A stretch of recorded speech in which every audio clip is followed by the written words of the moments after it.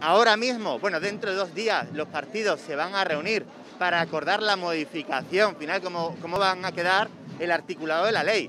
Lo que queremos es que se revierta todo aquello que es perjudicial para los derechos humanos, que no solo lo dicen las 130 organizaciones que salimos hoy a la calle en 25 ciudades del Estado, sino también Naciones Unidas, también el Consejo Europeo de Derechos Humanos, organismos internacionales que vienen dando toques a España porque fue un recorte en derechos y libertades brutal.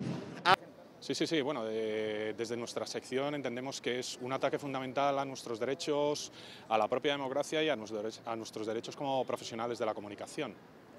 De hecho, estamos teniendo muchos problemas de compañeros y compañeras que asisten a manifestaciones para cubrir eventos. Bueno, pues la ley Mordaza criminaliza el derecho a la protesta de las organizaciones sociales, de la sociedad civil.